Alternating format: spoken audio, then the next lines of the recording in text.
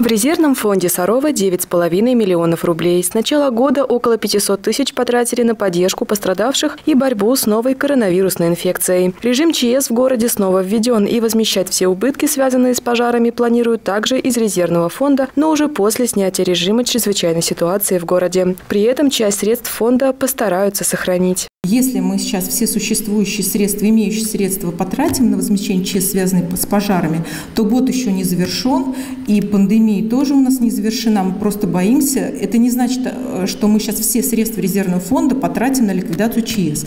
Предполагаем, что их будет, ну, затрат будет меньше.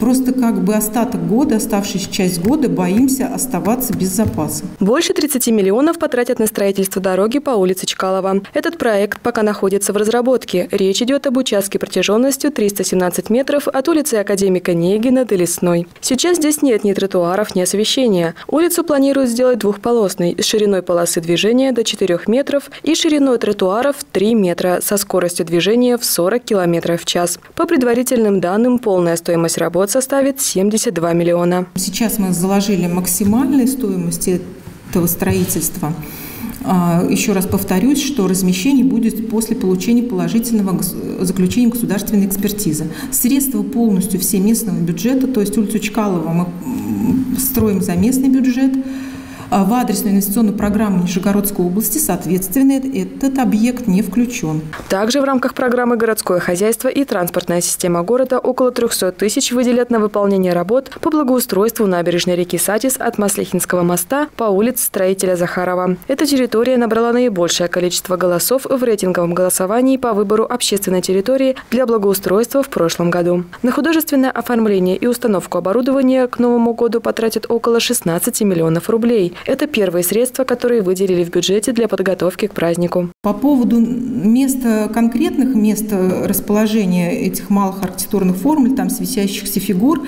в настоящее время прорабатывается Департаментом архитектуры и Департаментом городского хозяйства. Понимаем только то, что предварительно затронуты все районы города. На приобретение дорожно-коммунальной техники для города потратят еще около 3,5 миллионов рублей. Анна Пилипец, Константин Островский, Александр Мальков, службы новостей Саров, 24.